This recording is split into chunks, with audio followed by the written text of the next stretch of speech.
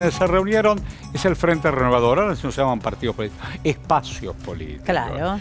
Un espacio político que lidera... Sergio Manza, claro. Y algunos referentes del Frente Renovador venían pidiendo esta reunión porque ¿qué quieren? ¿Qué quieren? Impulsar justamente una candidatura de Sergio Massa. Compartimos en vivo. definitiva de cara al año electoral que viene.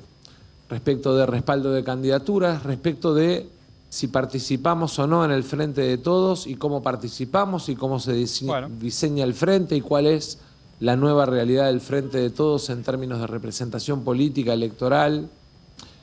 Pero me parece que previamente con el resto de quienes son parte del frente de todos tenemos una primera responsabilidad que es definir una estrategia competitiva que nos permita ¿no solamente que alguno por ahí se saque la vanidad personal de, o el deseo de competir, sino que le dé al gobierno sustentabilidad de cara al último tramo de año de gobierno y que le dé competitividad de cara a los desafíos que enfrentamos los próximos años, porque Argentina, así como hoy está, ahí está como líder de su propio espacio, marcando precisamente lo que él mismo señala que a contrarreloj de la campaña electoral le pide sustentar incluso el proyecto. Claro, Sergio Massa que viene de opinar justamente, que considera que no debe haber primarias abiertas, simultáneas y obligatorias dentro del frente de todos, es decir, que se tiene que llegar